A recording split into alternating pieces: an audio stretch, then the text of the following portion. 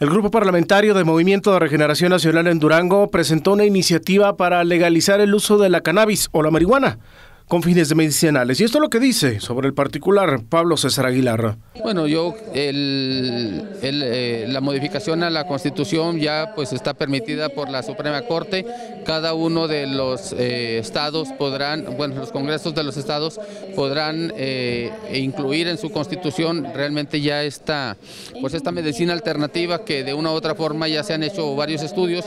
y bueno, nada más esperar que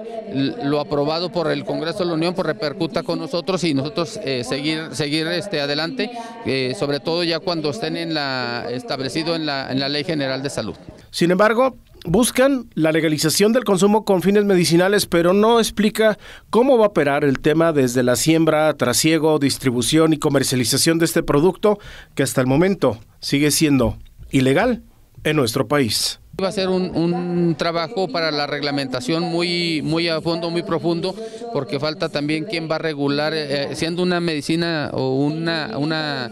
eh, un asunto médico alternativo, sí tendremos que buscar la manera quién lo va a regular, desde precisamente desde